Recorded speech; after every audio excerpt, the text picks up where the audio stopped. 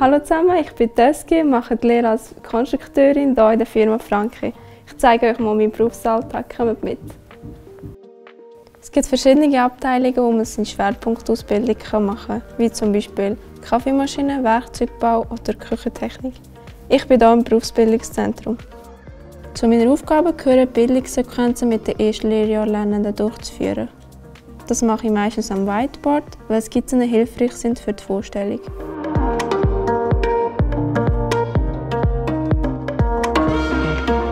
Zu meinen weiteren Aufgaben gehören auch produktive Aufträge.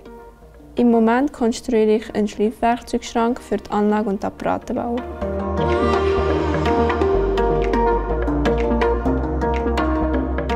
Die Entwicklung einer Konstruktion braucht mehrere Absprachen mit dem Anlage- und Apparatenbauer, da er am besten weiß, wie er einen Schleifwerkzeugschrank benutzt und was ihm hilfreich wäre.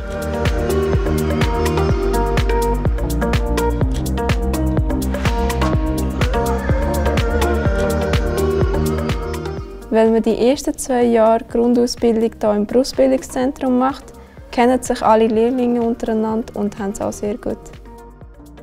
Wenn ich dein Interesse wecken konnte, bewirb dich doch hier in der Firma Franke.